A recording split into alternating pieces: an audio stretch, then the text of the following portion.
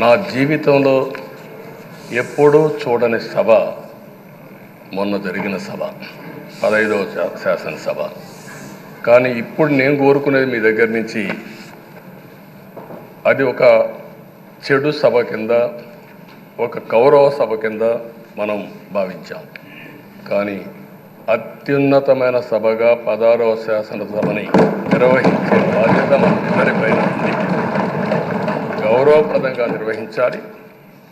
అదే సమయంలో ఇక్కడుండే ప్రతిపక్షాల దృష్టిలో పెట్టుకొని కాదు ఇరవై నాలుగు గంటలు మనం ప్రజా ప్రజలతో ఉండాలి. ప్రజాప్రభుత్వంగా ప్రజలకు జవాబుదారితనంగా ఉండాల్సిందిగా నేను మిమ్మల్ని అందరినీ కోరుకుంటున్నా. ఈరోజు మనందరికీ అధికారం ఇవ్వడం కాదు అతి ముఖ్యమైన బాధ్యత ఇచ్చారు. ఈ రాష్ట్రాన్ని మళ్ళీ ఘాటున పెట్టమని మనతో మాట్లాడారు మనకు చెప్పారు. ఎప్పుడు కూడా నేను ఒకటే భావిస్తాను. ప్రజా జీవితాలను మార్చే శక్తి ప్రభుత్వ విధానాలకు ఉంటుంది ఆ ప్రభుత్వ విధానాలకు రూపకల్పన చేసే సభ ఈ చట్టసభ ఈ విషయం ప్రతి ఒక్కరూ గుర్తుపెట్టుకోవాల్సిన అవసరం ఉంది. ఈరోజు మనం చేసే పని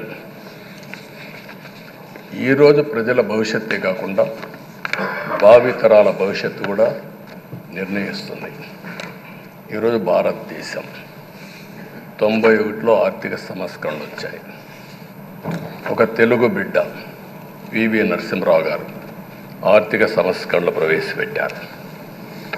ఈరోజు భారతదేశం ముందు చాలా వరకు అభివృద్ధి అయ్యే పరిస్థితి వచ్చింది.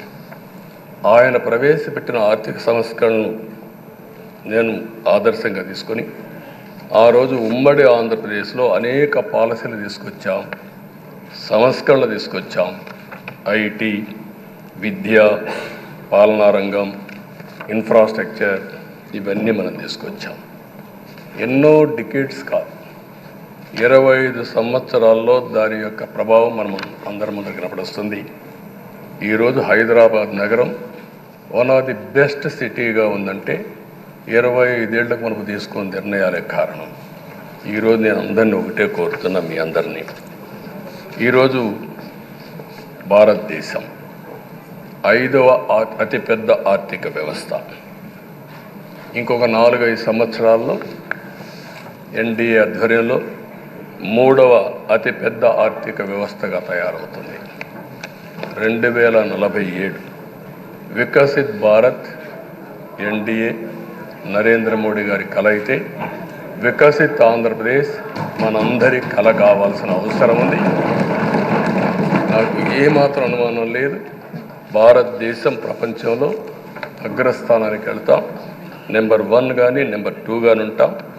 అదే సమయంలో మనందరి ఆశయం మనం చేసే చట్టాలన్నీ కూడా తెలుగువారు ప్రపంచంలోని నెంబర్ వన్గా ఉండాలని ఆంధ్రప్రదేశ్ని జీరో పావర్టీ స్టేట్గా తయారు చేసి ఆర్థిక అసమానతను తగ్గించే విధానానికి ఈ సభ శ్రీకారం చుట్టాలని కోరుకుంటూ దానికి అయ్యన్న పాత్ర గారి అధ్వర్య అధ్యక్షతన మనం ముందుకు పోవాలని చెప్పి మనస్ఫూర్తిగా కోరుకుంటున్నాను.